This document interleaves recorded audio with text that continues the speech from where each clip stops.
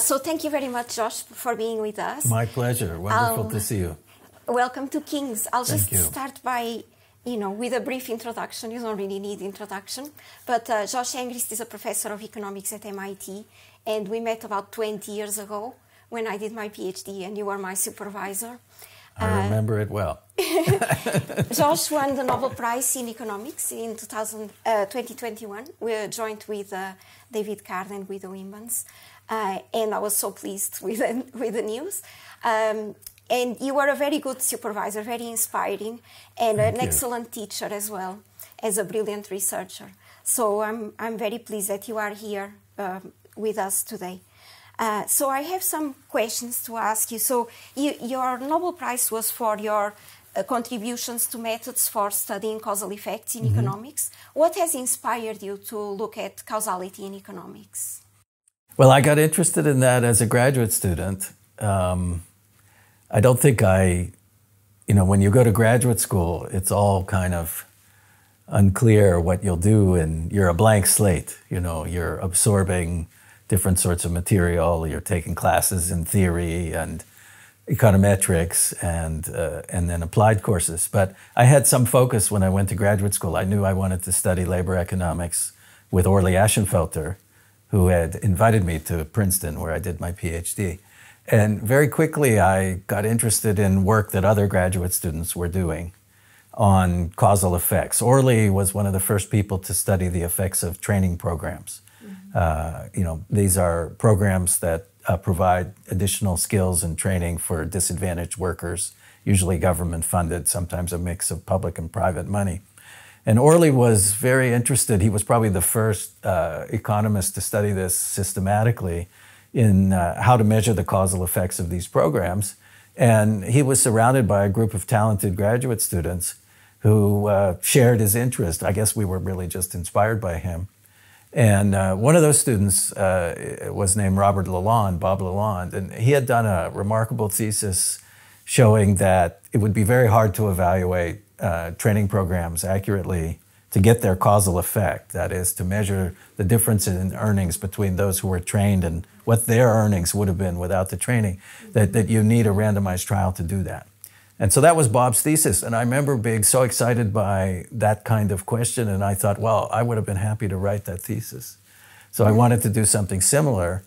And uh, Orley was a fount of ideas along those lines at that time. And at some point, he suggested to our class, it was a graduate class in labor economics, that somebody should use the draft lottery to estimate the effects of military service on veterans' earnings. And he just walked into class one day and said he saw somebody do something like that for health, for mortality. And he said, somebody should do that for earnings. And I said, yes, I will do that. And I went and went to the library and I started working on that uh, in 1987. And that's what I've been doing ever since. So he gave you the idea for your He did, he did, he did, absolutely. thesis. And I like to tell my students, you know, that success in economics is not about having good ideas, it's just about recognizing them. Yes. Yeah, very good. Um, so, if you could give some advice to students who would like to do a PhD in economics, what would you say to them? Well, actually, I often try to discourage people from doing a PhD in economics because I don't think it's for everybody. You know, you really have to be committed to it. It's not enough to be bright and hardworking. You you have to really love the material. So it, it's not, you know, successful economists.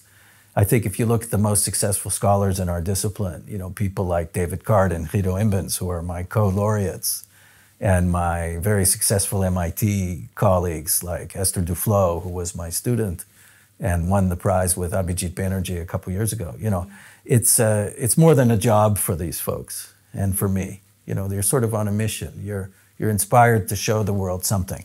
It doesn't have to be what I do, but it has to be something that really excites you and uh, that you're willing to spend a lot of time on. And you also have to have a very high tolerance for failure. Many of our ideas don't work out. I would say most of them aren't very successful. So you have to be able to kind of pick yourself up from a lot of failure and hope that you get a good project that produces an exciting paper every now and then. Does it get easier to cope with failure over time? Or it gets easier in the sense that it's you develop a, a sort of a, an expectation, mm. and you know you observe that over time you'll fail a lot, and then once in a while you succeed. I think there's a sort of an, an adaptive period early in a scholar's career where you know some hard lessons have to be learned. Uh, it doesn't ever get fun to fail. Mm. You know, when I have grant proposals rejected and papers rejected, and it's still the case that most of my grant proposals and most of my papers are rejected. Uh, I don't think I have a higher hit rate today than I did 30 years ago. Uh, that's never fun. It's always disappointing, but you learn to move on. Yeah, very good. I guess after you get tenure, maybe it's a bit less less pressure.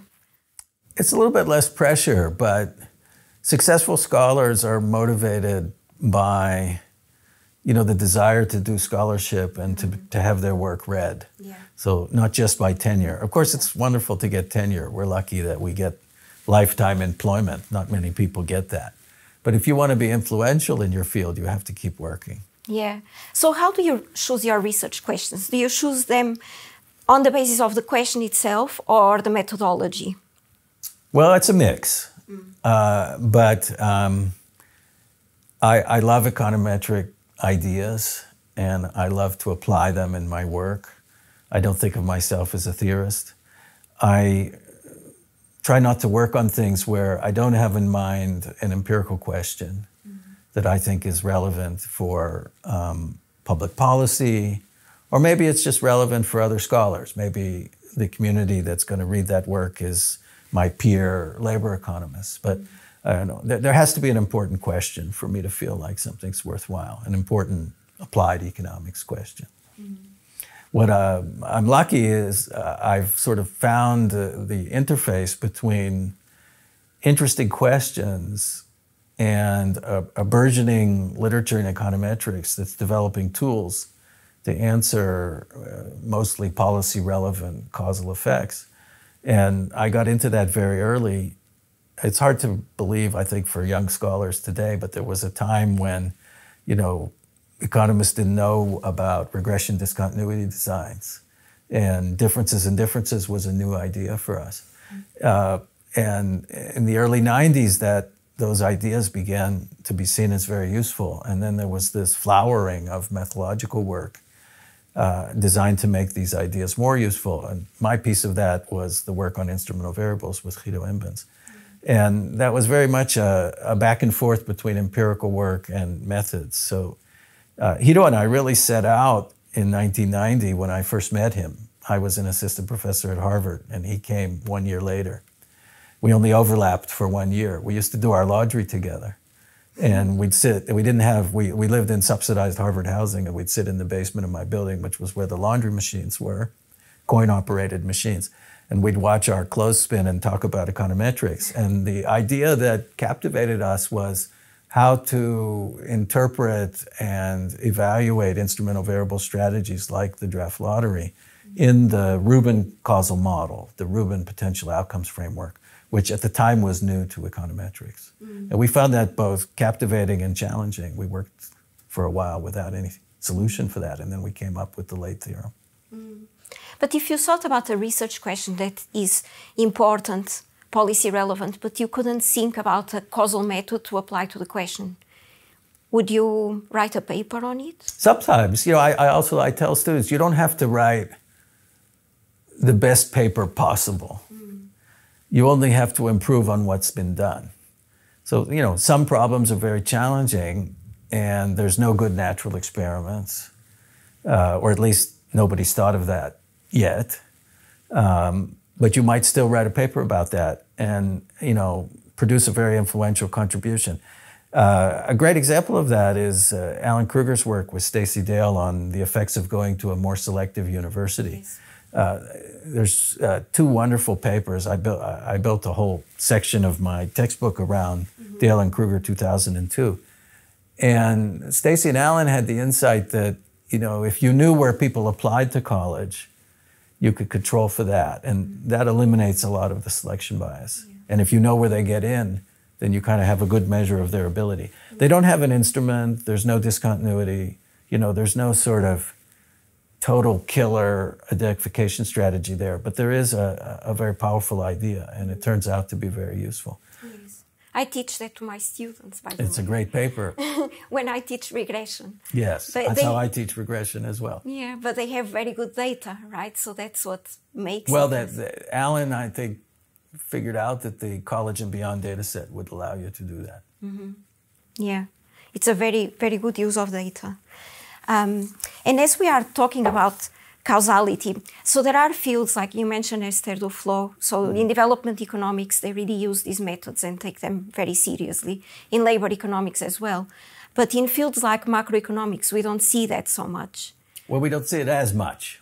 Yeah. No, we start to see More some examples. Yeah. Yes. Why do you think this is the case with macro?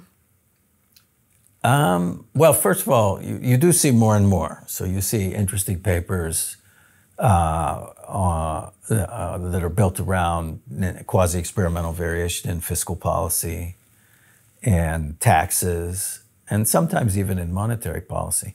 But um, and uh, Christina and David Romer were, were pioneers of sort of that, that approach to monetary policy, though they didn't quite do it the way uh, applied microeconomists would do. I, I tried to adapt their work in a series of papers with Guido Kuersteiner. Um, you know, one issue is that the problems are harder in the sense that there are probably fewer natural experiments, and even when they do occur, there's, they're in a time series context, so there's no obvious control. You know, the Fed uh, in the United States just raised the interest rate 0.75, you know, 75 basis points instead of 50. And that was kind of surprising. So that sounds like a natural experiment. But it's not clear what's the control group for that Yeah. event, you know. Uh, maybe it's the UK or Canada, but then that's only a couple countries. So, um, so the problems are hard.